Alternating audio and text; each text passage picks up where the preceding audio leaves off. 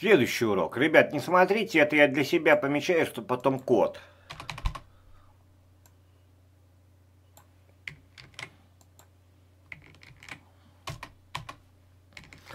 Просто-напросто э, для себя помечаю, чтобы разделять.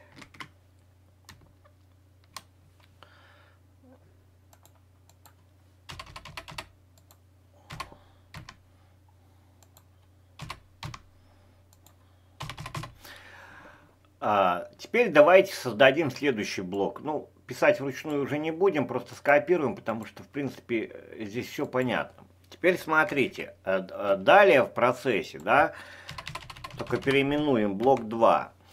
Первый блок генезис у нас, а второй блок 2. Все это будет делаться на автомате. Но, как вы видите, мы прописываем блоки вручную, чтобы понимать. Ну, вот прописали и увидели, что на самом деле, ага, блоки состоят Э, с предыдущего шага, э, там что-то записывается, допустим, транзакция, оно записывается куда-то. Мы записали в данном случае в кортеж, то есть уже защитили, что из не это ну, нельзя взломать. Кортеж просто не имеет. Это такая структура данных Python.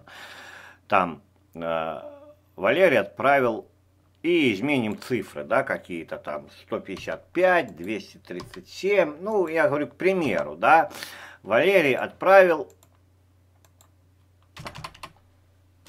788 БТН. Итак, э, понятно, что мы опять следующим образом э, сделаем что? Э, блок 2 тоже заключим, то есть, во-первых, сериализуем, во-вторых, зашифруем. Ну, давайте это сделаем. Только опять же скопируем и переименуем. То есть э, здесь э, уберем просто, здесь напишем блок, блок 2, да, и здесь блок 2 хэш. Теперь нам надо э, заменить переменные Здесь мы просто пишем блок 2.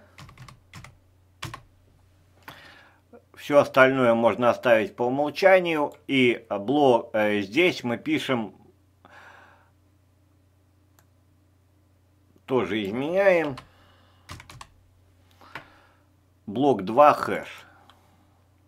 Или что там, как у нас называется? А, блок 2 сериализация.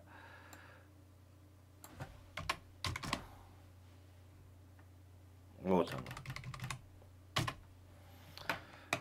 Все, а вы уже сами, вам домашнее задание вывести и посмотреть, а что выводит. То есть э, написали второй блок. Давайте перейдем дальше.